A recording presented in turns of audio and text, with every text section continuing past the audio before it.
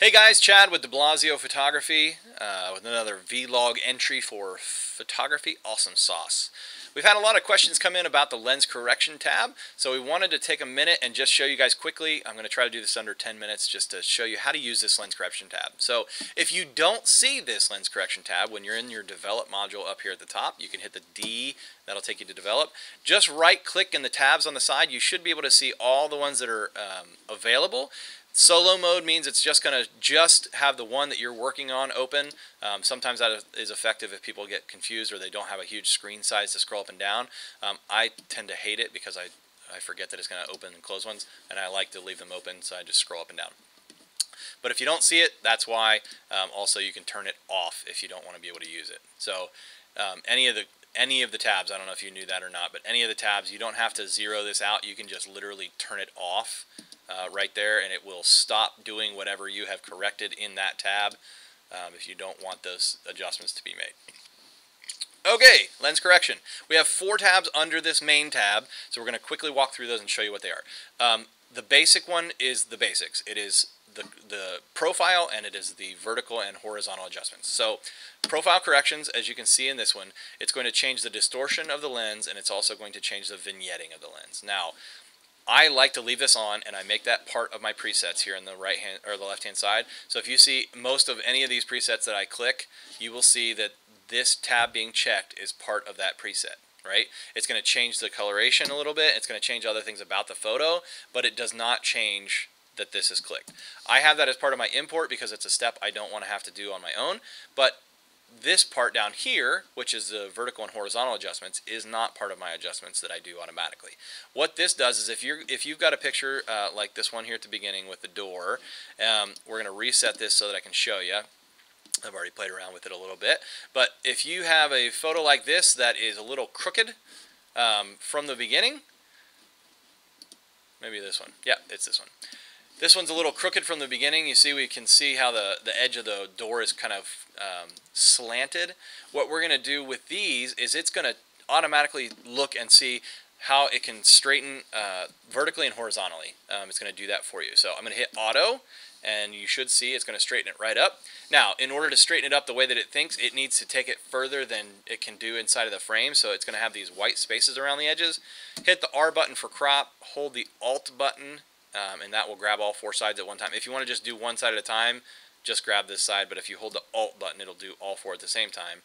Um, and then we can scroll that into where we have picture in the whole frame. Okay, so just as a before and after, this is our before, uh, this is our after, and what all I've done is applied a preset, brighten it up a little bit, enable the profile corrections, and automatically analyzed it. Now, if you want it to do just one of the uh, one or the other. If you wanted to just level it, you wanted to just vertically level it, or you wanted to correct the perspective, like let's say you were shooting a building and it was kind of stretched skinnier towards the top, this will try to, in the best way that it can, automatically analyze that and change it for you. So that's a really helpful tool rather than going through and, and cropping, adjusting, changing all these things automatically. Um, one of the ways you can do this on your own is to hold the command button. You'll see that little level pop up. You can just drag a straight line down the side of this door and it will straighten it according to that door. Um, that's a quick, sh quick, shortcut too, but I like to start here because I don't like going through all that. Now, one of the neat things about this is if you have a uh, series of those photos where the door is all crooked, um, say this one here also is a little crooked, I'm going to hit Command Sync. Uh, that's Command Shift S for those of you who are in the pre or in the uh, shortcuts flow. I'm going to have lens corrections with our up right transformation selected, and that's going to synchronize, not the wrong photo, that's going to synchronize not only the photo colors uh, and the, the adjustments that I've made, it's also going to enable those profile corrections with the vertical corrections to be made so that we can go over here now and you'll see that this one is straightened up automatically. Now I need the same thing with this one. I have to crop it down a little bit, but it did straighten it, um, adjust adjusted it based on what Adobe sees as the straight parts of this picture. Okay. Now it didn't get it exactly right in my eyes, so I'm going to go ahead and straighten that up to the door. Um, but it's a great tool. A lot of times, if you have some some very um, obvious horizon lines, or if you have some very obvious vertical or uh, horizontal lines, you can use this tool to to analyze for you. Okay. The next tab over is the profile tab. Now this one, um, I shot with a 100 millimeter. It's not automatically showing up for some reason. Oh, there it is. I just clicked enable. Um, it's so that's what it thinks it should look like distortion wise and color wise.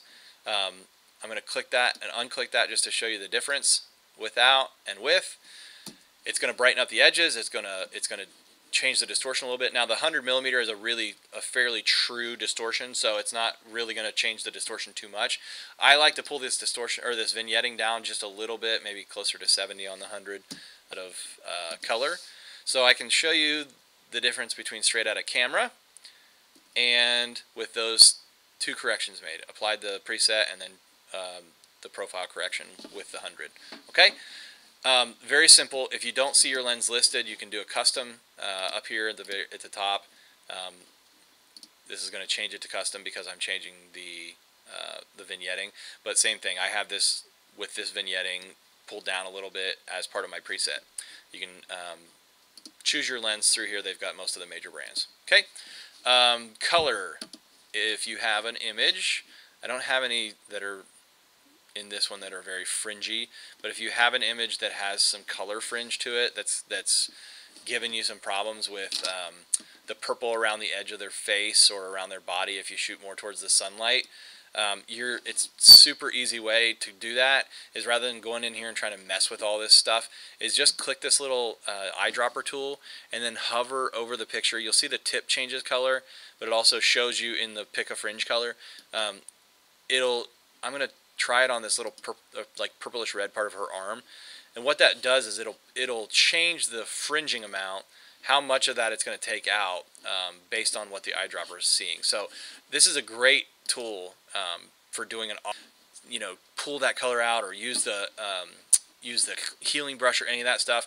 This will do a really really fantastic job right off the bat if you just click it, pull it over there, and click on the tab. Now just as a before camera and with those couple adjustments made we did pull the color down a little or the, the temperature down a little bit too but that is really what this color tab is about is it, it helps kind of change some of the problems that happen with a lens um, when you're shooting into light or harsher light you get some of that fringing um, the manual tab is if you don't want Adobe presets to do those things for you, you can go in here and change any of those things yourself. So if you have, you know, if your if your lens is a little fish-eyed out and they look a little bit thicker or rounder than they should, go in here and pull your distortion down and slim them out with with what the lens should do. Now you will notice that some of these adjustments do leave this white trimming around the edges um, because it's pulling the image further inside than of the frame than what the image actually is so there's no information there. You just have to go in here and adjust that crop so that those are cropped out. Uh, but that will that does give quite a bit difference uh, quite a bit of difference in the before and after in just the the way that these transformations look. Um, and and that tab allows you to do all of that stuff all on your own. So that's with that distortion change just kind of pulls basically what it's doing is pulling the, the center of the image back away from you um, in distorting it or the other way kind of fish-eyeing it out. So if you want to if you want to use some of that to your advantage to make some some kind of fisheye looks uh, or to to do some of that kind of stuff, um, totally easy to to use your um, lens correction tab for that. So those are the four basic tasks of the lens correction tab. The most often used ones for me anyways are this profile correction and then a, uh, the analyzing the vertical and horizontal corrections. So I hope that helps you. If you got any direct questions, feel free to shoot me an email, chad at diblasiophoto.com, uh, you, or you can see my link to my Facebook page and my profile below. Um, hope you guys have a super awesome weekend, and we'll talk to you soon.